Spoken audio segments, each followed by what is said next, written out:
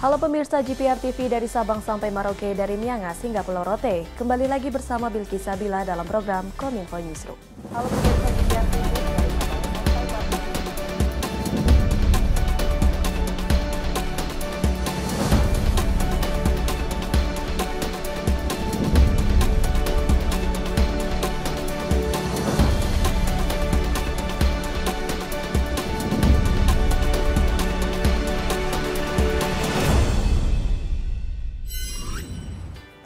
Inilah Kominfo Newsroom selengkapnya.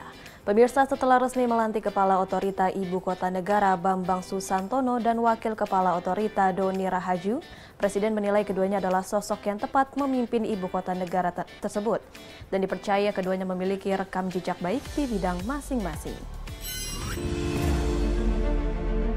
Presiden Joko Widodo telah melantik Bambang Susantono sebagai Kepala Otorita Ibu Kota Nusantara dan Doni Rahaju sebagai Wakil. Pelantikan ini berdasarkan keputusan Presiden RI nomor 9 garing M tahun 2022. Presiden Joko Widodo menilai Bambang Susantono dan Doni Rahaju adalah kombinasi yang sangat baik dengan rekam jejak di bidang masing-masing. Presiden menyebut Bambang Susantono ahli dalam urusan infrastruktur, tata kota, dan transportasi yang memiliki keahlian dalam bidang keuangan karena pernah memimpin ASEAN Development Bank. Sementara itu Doni Rahaju disebut memiliki rekam jejak baik dalam bidang properti. Dengan kepemimpinan Bambang dan Doni, Presiden berharap IKN dapat menarik minat para investor dan dapat berkoordinasi dengan para Menteri Kabinet Indonesia Maju dalam pembangunan IKN. Pak Doni yang memiliki pengalaman lapangan terutama di bidang properti dari A sampai Z-nya pernah mengalami sehingga nanti akan gampang sekali beliau berdua ini berbicara dengan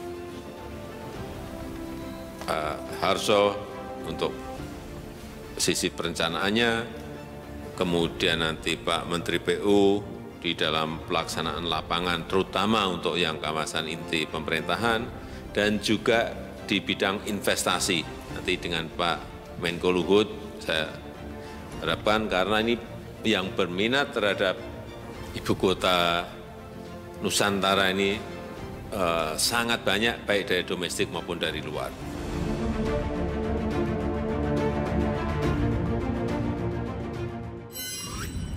Pada rapat terbatas pembahasan IKN, Presiden Joko Widodo juga menyampaikan sejumlah arahan mengenai pembangunan Ibu Kota Nusantara, di antaranya berkaitan tentang pertanahan dan kelembagaan IKN.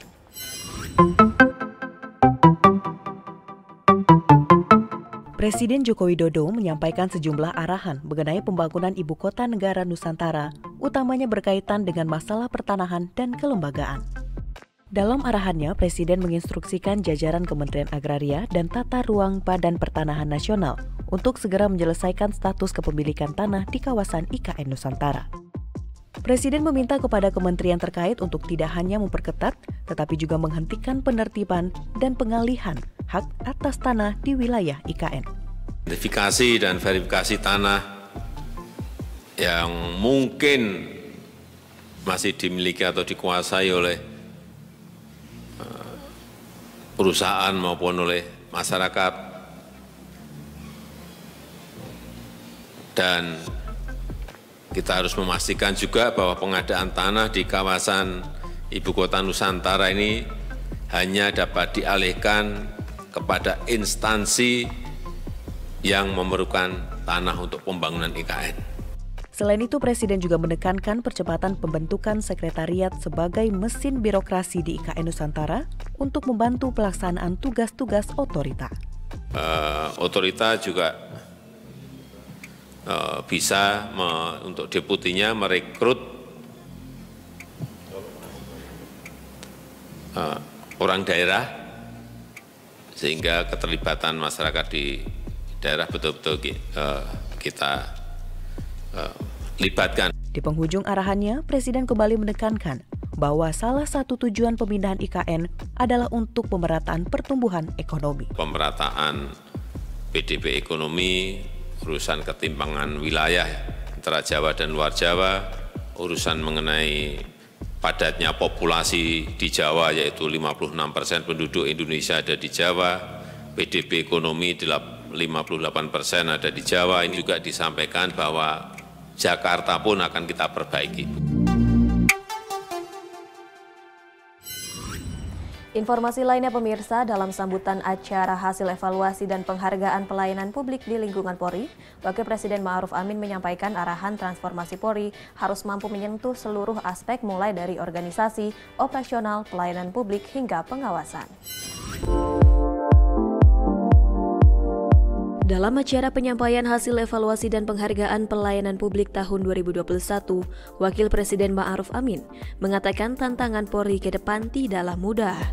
Seiring dengan dinamika sosial dan kemajuan teknologi digital yang makin cepat dan disruptif, jajaran Polri dituntut untuk semakin adaptif, lincah, transparan, dan profesional agar fungsi sebagai pelindung masyarakat dapat terus dilaksanakan. Pada kesempatan tersebut, Wapres memberikan beberapa arahan kepada jajaran Polri sebagai upaya dalam meningkatkan profesionalisme. Antara lain, peningkatan kompetensi SDM Polri, termasuk peningkatan literasi digital. Manfaat modernitas teknologi digital untuk mendukung penegak hukum yang tegas, adil, dan humanis sebagai bagian dari pelayanan publik dan diperlukan pengembangan serta evaluasi kualitas layanan digital seperti SKCK online, SIM nasional presisi, Samsat digital nasional, dan lain sebagainya. Kelak digitalisasi pelayanan publik Polri diharapkan dapat terintegrasi dengan pelayanan publik instansi pemerintah lainnya dalam satu aplikasi pelayanan publik nasional atau super apps Selain itu penting pula bagi Polri untuk berpartisipasi dan bekerja sama dengan pemerintah kabupaten, kota dalam pemberian layanan di mall pelayanan publik atau MPP. MPP adalah wujud layanan publik yang terintegrasi pada satu tempat sehingga akses layanan masyarakat dapat lebih mudah, cepat dan murah.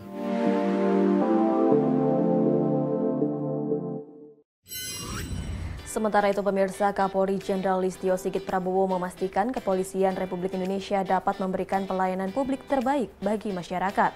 Hal itu juga telah dituangkan dalam konsep transformasi menuju Polri yang presisi pada bidang transformasi pelayanan publik.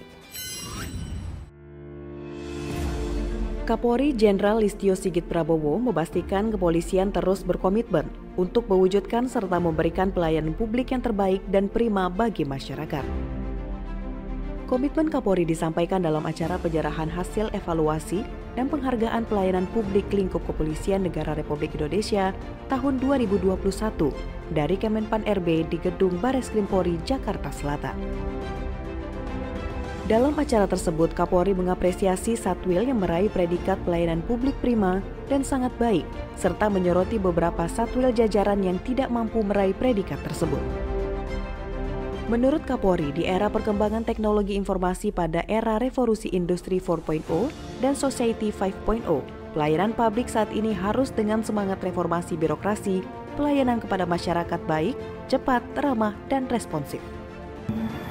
Kami sangat berterima kasih atas dukungan seluruh stakeholder terkait dalam uh, memberikan masukan, memberikan evaluasi, memberikan kritik terhadap kami mitra kami dari DPR RI, dari Kemenpan RB, Ombudsman RI, rekan-rekan dari Kompolnas, rekan-rekan dari KPK yang tentunya kita harapkan terus bisa memberikan masukan sehingga pelayanan publik Polri akan menjadi semakin baik. Sebagaimana harapan kami dalam uh, upaya kita untuk mewujudkan pelayanan publik sebagaimana uh, apa yang menjadi program kami dalam transformasi menuju Polri yang presisi.